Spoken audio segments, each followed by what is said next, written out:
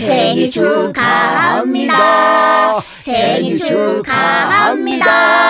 사랑하는 우리 아빠 생일 축하합니다. 축하해 아빠.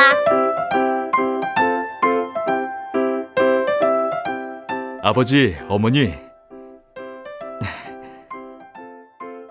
낳아주시고 키워주셔서 감사합니다.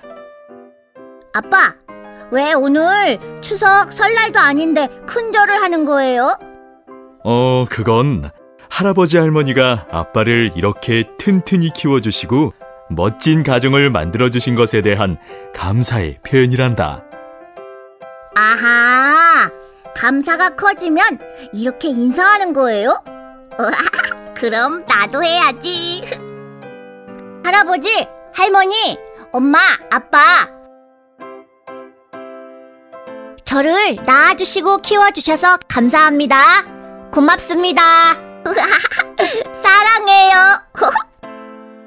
뭐?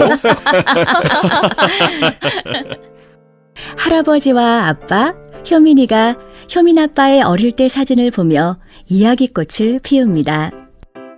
어? 이건 뭐지? 아빠가 할머니한테 혼나고 쓴 반성문 같은데? 아빠도 나처럼 엄청 말썽꾸러기였네. 뭐? 효민이는 엄마 아빠의 결혼 사진을 보면서 무엇이 이상한지 고개를 갸웃거립니다. 어? 근데 나는 어딨어요? 엄마랑 아빠만 있고 난 없잖아요. 너는 다음 사진 속에 있지. 어? 여기도 나 없는데? 저기 엄마 뱃속에 효민이가 있단다.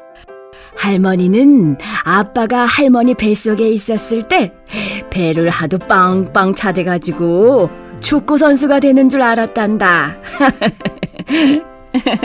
우리 효민이도 아빠처럼 엄마 배를 빵빵 찼었어. 아유, 이것 좀 봐라. 어느 게 네 사진인 것 같니? 어, 어, 모르겠어요. 어, 둘 다 제 사진 아닌가요? 이게 내 아빠 아기 때 사진이란다. 그리고 얘는 우리 효민이. 어때? 너랑 똑같지?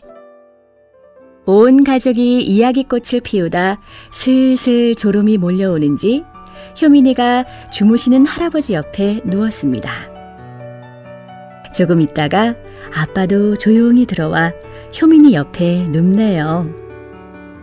할머니와 엄마는 조용해진 안방이 궁금해 문을 열고 들여다보고는 순간 쿡 하고 웃음이 터졌습니다. 어쩜 세부자가 자는 모습도 똑같니?